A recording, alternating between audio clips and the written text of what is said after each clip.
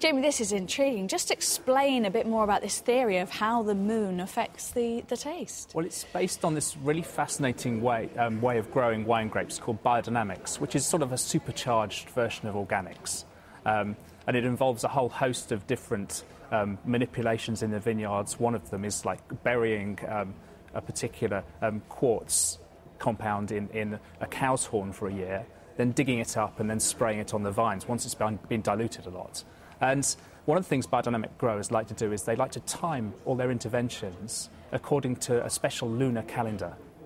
And so they, they split up the, um, the, the calendar into different days. You've got root days, you've got flower days, fruit days.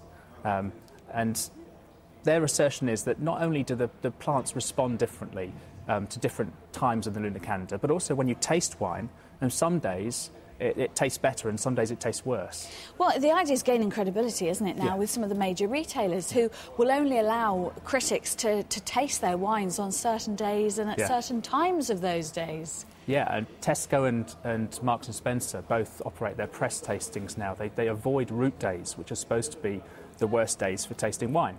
Well, uh, today's a root day, isn't unfortunately, it? Unfortunately, yes. So today, um, if, you, if you're planning to drink some wine this evening, then maybe maybe you should think again, according to these these these biodynamic guys. Well, sadly, at eight months pregnant, you're just tempting me with this. So I can get, have a little.